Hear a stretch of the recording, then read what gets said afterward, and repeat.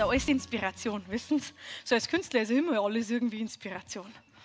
Ja, ich meine, Gott, das wissen Sie jetzt freilich nicht, aber ich habe zum Beispiel jahrelang beim Radio gearbeitet, am Empfang.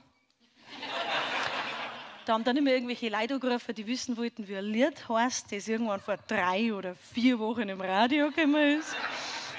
Ah, sehr.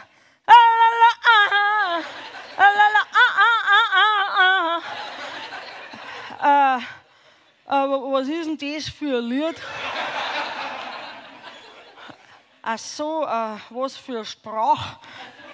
Mei, äh, schon Englisch, aber instrumental. Dann, dann habe ich mal so eine, so eine Zeit lang so als Vertreterin gearbeitet, so, so für Alarmanlagen. Dann bin ich immer so von Haustür zu Haustür gegangen, habe ich echt gut verdient. Aber immer, wenn keiner daheim war, habe ich einfach einen Prospekt auf den Küchentisch gelegt.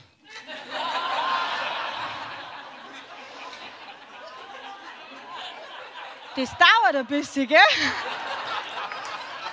Ja.